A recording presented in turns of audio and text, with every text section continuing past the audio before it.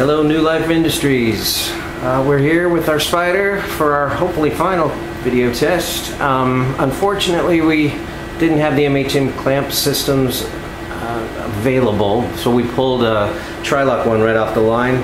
Um, but it should give you a, a, good idea, and I can send you some photos of the uh, of the MHM pin system if you like, so you know what it's what it is. But we're just uh, looking at speed right now.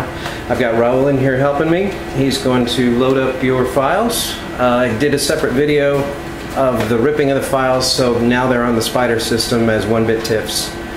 Uh, he just loaded uh, the four in there. Two are duplicates of the high res we're going to do at bidirectional and uni. But we're going to start with your name drops running at the higher speed.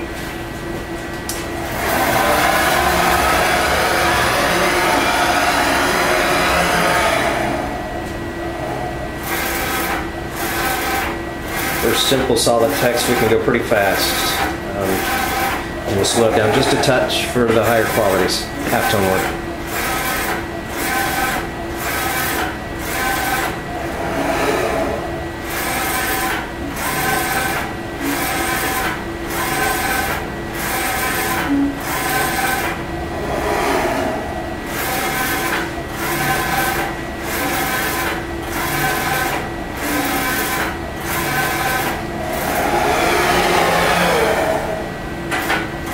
We decided to just do the name drops on the uh, the exposure test screens you sent. Might as well put an image on them, um, and we'll just do the exposure test on there,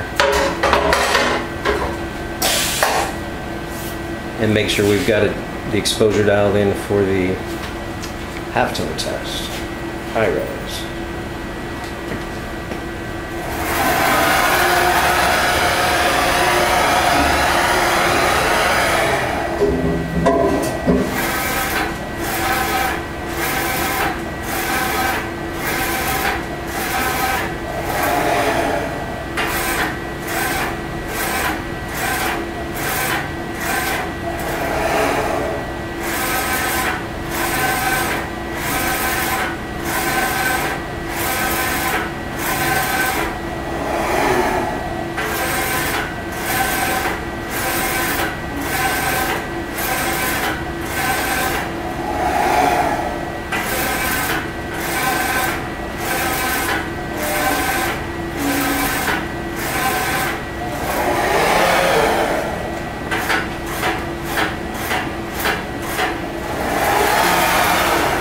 Okay, that was the second name drop.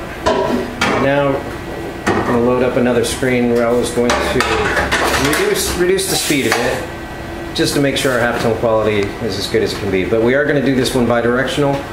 Uh, about 100% of our customers run this bidirectional even with their high quality stuff, so I think you guys can too. Um, we did a lot when we went from Spyder 1 to Spyder 2 to improve bidirectional accuracy.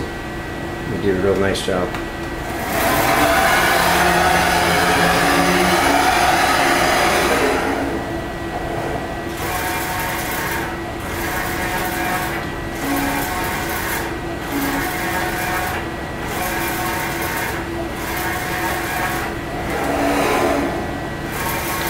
Some bidirectional and unidirectional can get changed in the template settings that are right on the Spyder here.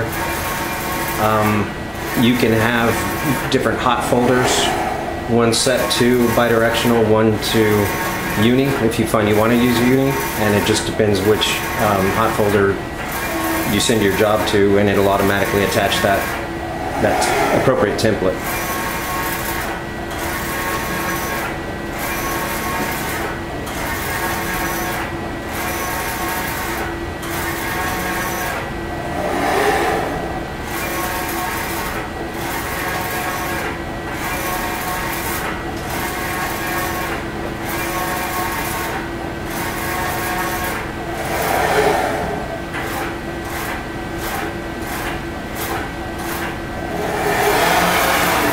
Okay, that's a completed bidirectional.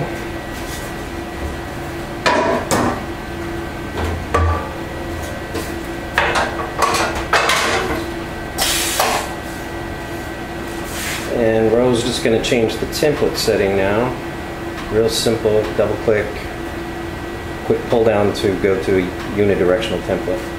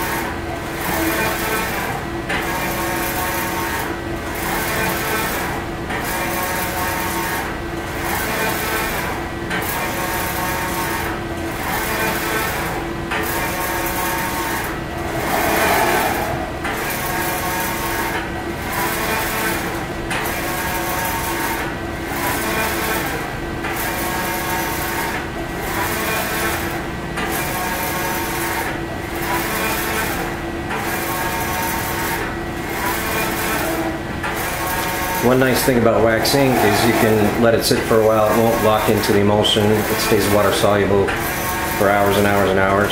Um, no need to dip tank. So in this case, we're just printing and then we'll do all the exposure after the fact. Or you could do it in line. It doesn't really matter.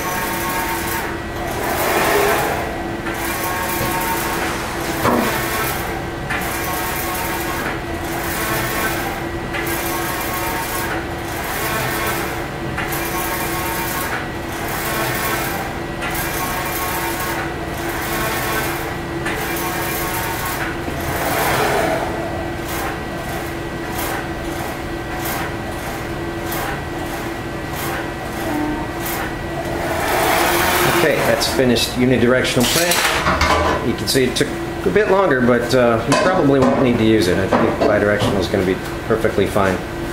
Um, and next we're going to go on to exposure.